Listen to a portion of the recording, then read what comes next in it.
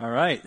So, uh, Bradley, you guys announced a whole bunch of new features yesterday for Google Plus. Maybe give us a quick rundown of what's new. Sure. It was an exciting into. day, sort of a awkward day to be out of the office. I had, you know, 50 chat moles open and was sort of monitoring the launch in real time. So thanks um, for making it all the way to New oh, York for no, this. They, so. this is a pleasure. and uh-huh. uh, the guys did a fantastic job. It was a really wonderful and successful launch. We really launched three different categories of uh, new and um, some expected and some unexpected things. Um, the first thing is search.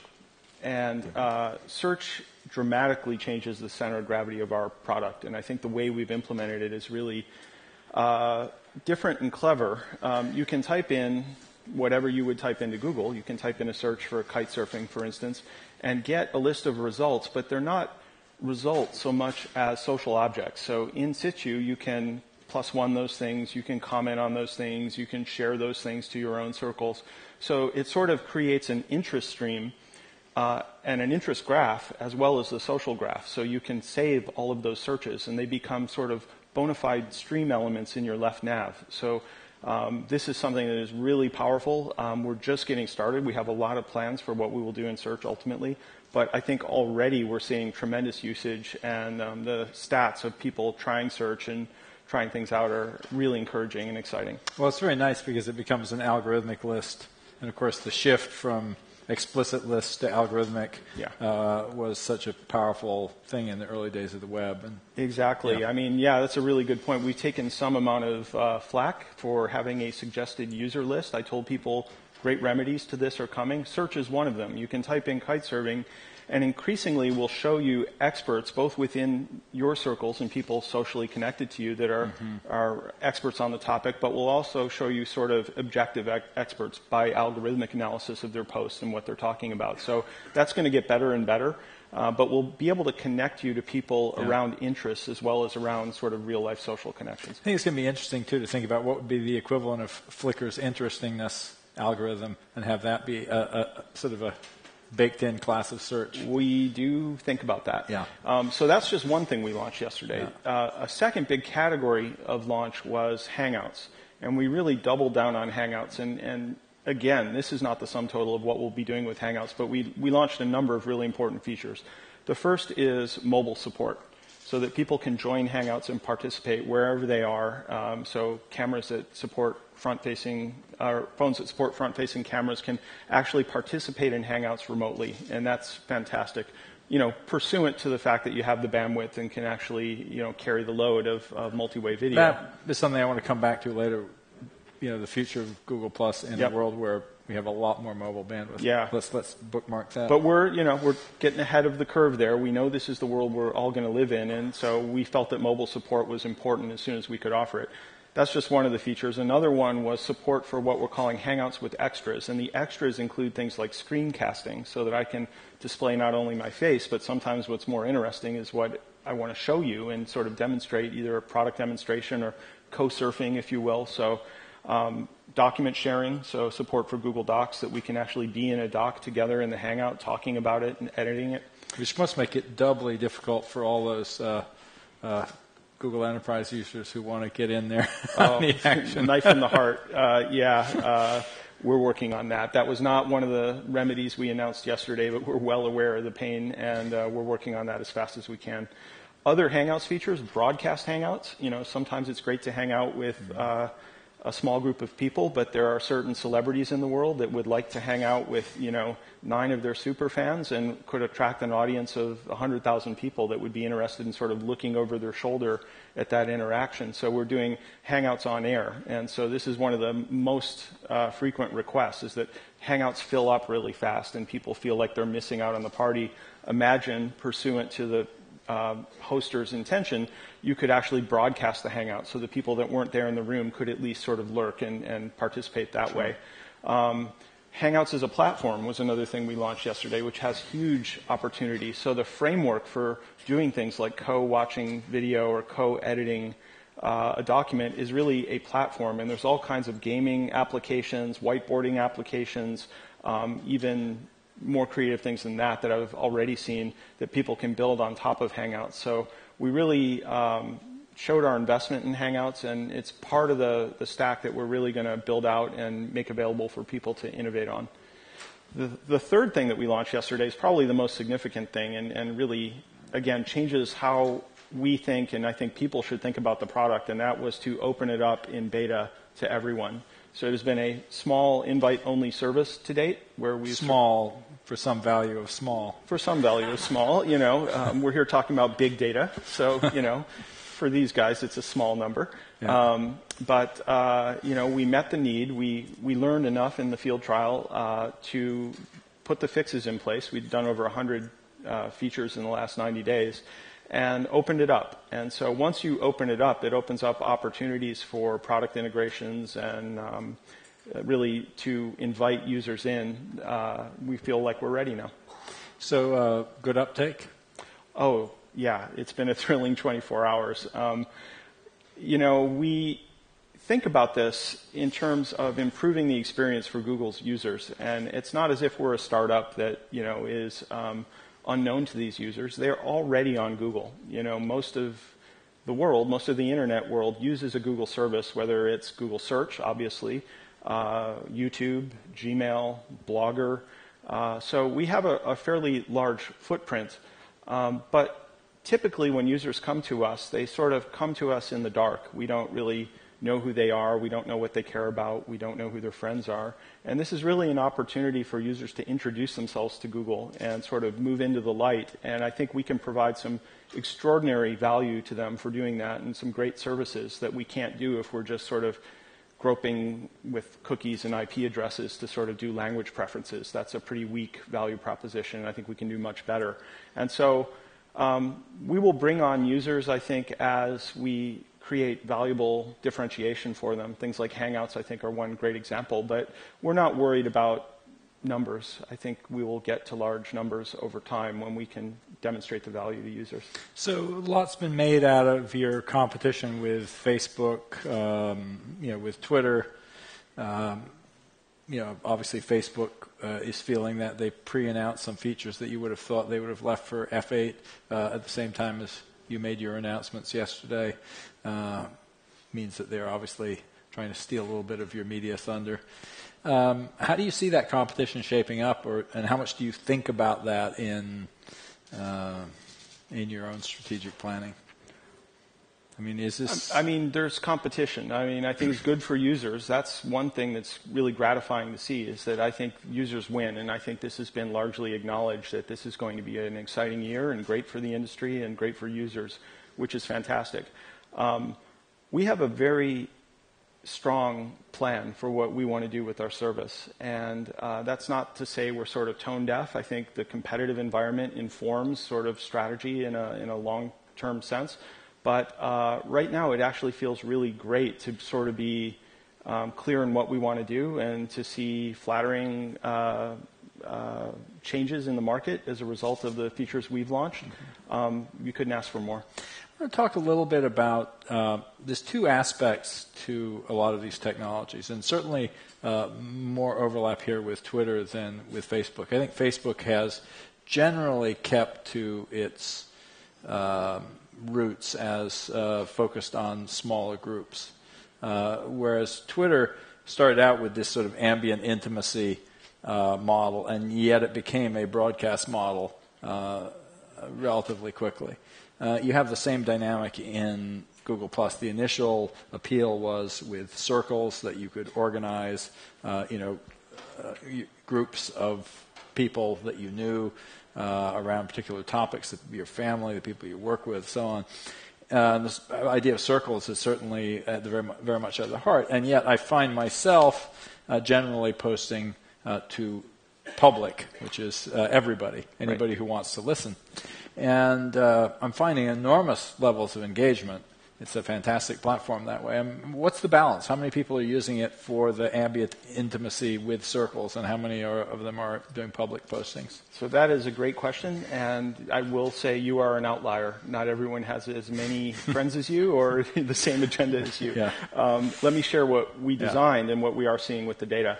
Um, our ambition has always been to up level the model so that we could support the wonderful value of asymmetric uh, fanning, so that you know if there's a celebrity that I'm interested in or a brand, I could express that. Well, brands can't really be on there yet. Not yet, but that's coming too. Uh, Despite people that want to claim that their brand name is their real name. Yeah, there's that. so, you know, we want to we want to support that case. That's an important case, and that sort of asymmetric relationship is something that works, and it works for a number of use cases. But we also wanted to support the real life faceted intimate sharing where you actually are speaking to a room of people that you know and trust and um, that's really the value of circles. Um, the challenge and this is a, a real challenge and i think part of the, the gambit that we made in launching the product and why we wanted to do a field trial um, was to understand if you could have one product that really met both use cases and not mm-hmm. confuse users and not overwhelm users. You know, trying to be all things to all people is sort of the bane of product management. This is exactly the, the path to hell. Um, could we do it? Could we create a user interface and a model and verbiage and terminology and experiences that actually made it clear to users what was going on? And I think the feedback we've gotten from the field trial validates that the circle model works it is as good for a shout, that's you, as it is for a whisper, which is how most users are using it right now. Mm-hmm. And so, so, can you give us a sense of the, the, the stats on yeah. respective users? So what's fascinating is in terms of content shared, it is twice as likely that content is shared privately to circles as publicly to everyone. Mm-hmm. Um, so it's a two to one ratio, and it's actually trending up. It's between two and three now. People are, seem to be doing more private sharing. Um, that's not true for everyone. Uh, again, you've said that you mm-hmm. find more value in public sharing, and I think that that's a valid use case and it works for you. Um, but even there, I have to say that uh, circles become very useful, uh, plus the ability to name individual users, because I can bring it to the attention of someone who I specifically want to make sure sees it by adding them uh, by name or by adding a circle. Right. Uh, so I can go, okay, I want people in my company to make sure to read this. Exactly. I can, I, you, know, you, can sort of tap them yeah. on the shoulder and, and yeah, give them and I, I, do think there's some interesting models there. Now, obviously, there's a, a, lot to learn here. I mean, about yeah. how do, do we actually model social interaction? It's not, yeah. not entirely clear. It's really complicated, and I think I still would love to see uh, you know, something I've wanted ever since, uh, you know, we began this social conversation is somebody to take all the data from my email and messaging and phone and, uh, and say, okay, who's your real social network?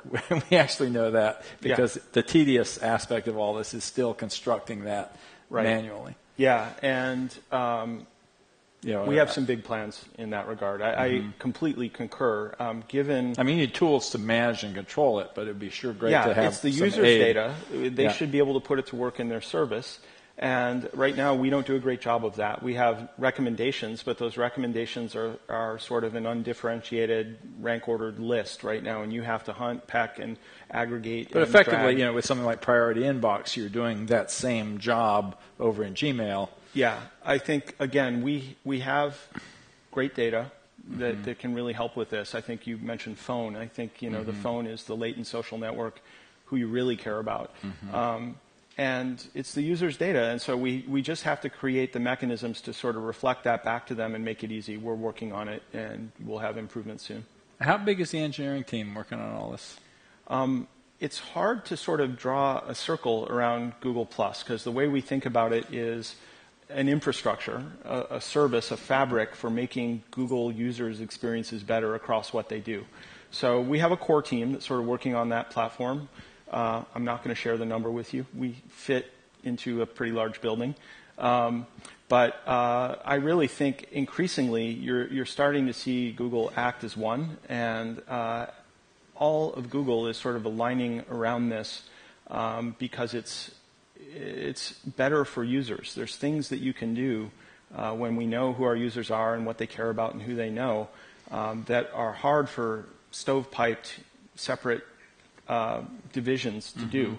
And so there's been, I think, partly as a result of the, the field trial, a huge alignment of interest at Google, and yeah. uh, the team uh, is really galvanized the, the entire so force. Here's kind of a, a, question that I think is a difficult one. Uh, the social fabric that you're building across all of Google products uh, clearly has the potential to deliver uh, value to users.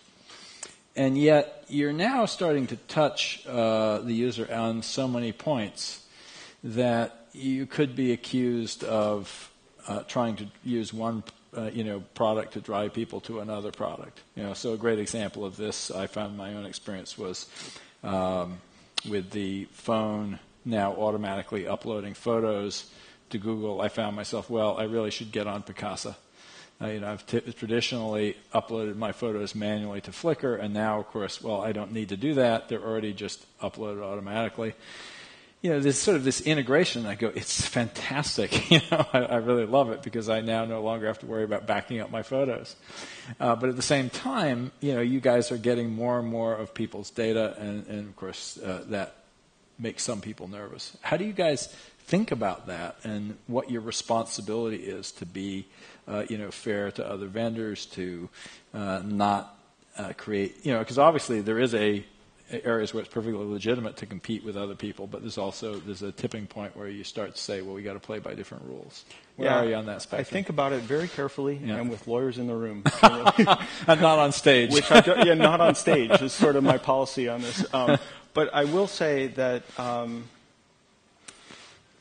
Google has a really good long tradition mm-hmm. of being open, and you know I think we put the user first. And so the integrations, for instance, the instant upload feature of your Android phone, mm-hmm. which beams photos to Google, um, is an optional feature. It's something that doesn't preclude you from putting your photos in Flickr. It's not sort of a, a stovepipe, which sort of you yeah they go, they disappear off your phone and you, go into right, Google and right yeah, so yeah, sure. um, and it's tremendously valuable. I think that's the most important thing. Is you know we've asked people and done a lot of user research. How many of you have photos that are trapped on your phone and sort of never make it to the people that would love to see them? Everyone, to a person, raises their hand. Um, not to mention that, you know, I don't know about you guys, but I cycle through a lot of phones, probably more than you guys. Including um, one you gave to me. yeah. So, yeah, uh, that's a funny story. But, um, you know, uh, it's sort of good to sort of get the stuff to the cloud, right? Yeah. It's sort of good to sort of liberate it into that great film strip in the sky. Mm-hmm. And so there's just a ton of trem- user value to doing this and doing it right. Um, mm-hmm. It doesn't mean that yeah. the photos can't go to other services or you can bounce them from the cloud mm-hmm. to other services. Those things are in our DNA. Uh, but I yeah. think you know we we think about user first, and yeah. uh, and that usually serves us. Uh, picking up on that uh, phone story, I think it's maybe worth unpacking a little bit. I remember it was probably 15 years ago, maybe longer.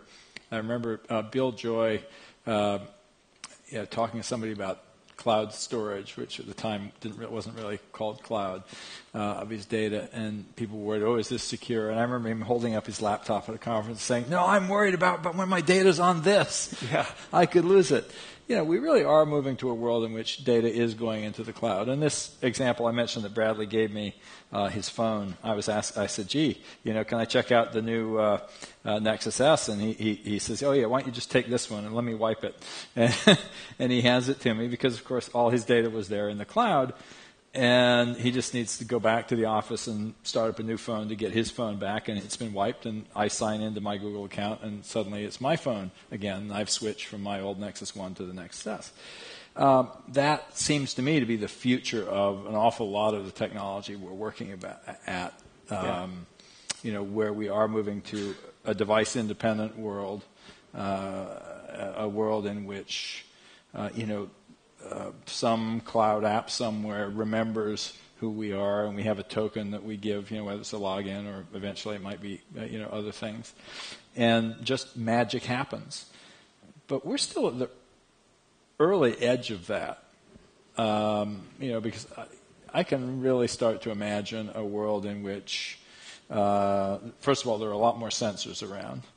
You know, my car recognizes me as well as my phone my uh, my house recognizes me, my office recognizes me, and uh, you know once the data is really in the cloud, uh, you know, and it doesn't really matter, you know, sort of like you know you could easily imagine, a, you know, in the science fiction imaginings, I I imagine a you know a Google autonomous vehicle that also has a sort of uh, Kinect-like functionality, and it's looking at you know face recognition and gait recognition and the like, and it says, "Oh, oh yeah, you said that uh, Bradley could use your car," and he walks up and it unlocks itself, and you know, yeah, and uh, you know, it's science fiction, and yet it's very much within the realm of capability, all done through this idea of data in the cloud. Uh, do you have any crazy thoughts of your own about where all this is going? Yeah, I love it. I mean, I, this is the world we're living in. We're at the dawn of this world. It's so cool that we all have these smartphones in our pockets, which really, you know, think of if we work together. You know, we have an array of microphones here. Um, what could we do with a microphone array like that? Mm-hmm. You know, if we chose to and opted in to sort of donating my sensor to the collective yeah. good, um, I think there's thrilling applications that we haven't begun to think about yeah. in terms of um, what we can do when we sort of light this up. And it, I, I think the phone example is a good one, just because it sort of commoditizes these things. There's going to be sensors like dust everywhere, right? And yeah. uh, to sort of harness those um, is going to be a great opportunity to collect vast amounts of data and then return that as killer apps. I mean, do we need body area networks so we can have uh, lighter weight devices that then just use the phone for connectivity? Yeah.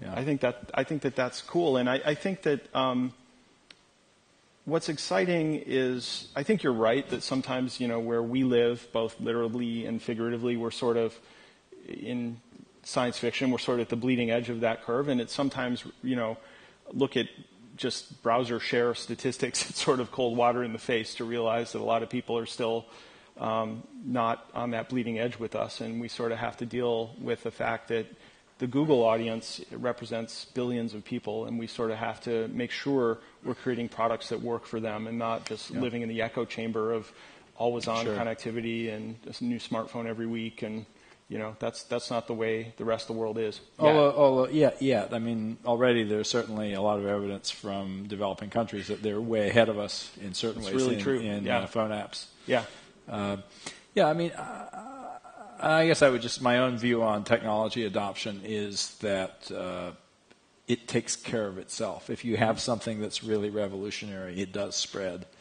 yeah. Well, and, I, uh, that's a, certainly Larry Page's view. I mean, yeah. one of Google's principles is build for the power user, and then I added my own corollary and make all your users power users. That's mm-hmm. the way to mm-hmm. think about it. Is sort of you're not building for that leading edge at the exclusion of the rest of the world. You're sort of getting ahead. You're skating to where the puck is going, and you're sort of acknowledging that all of these trends are going to take things in that direction. So that's what I, we try to do. I know that um, at Google you don't like to talk a lot about your data infrastructure or uh, you know your algorithms, but can you kind of give us a view of some of the complexity that's under the hood?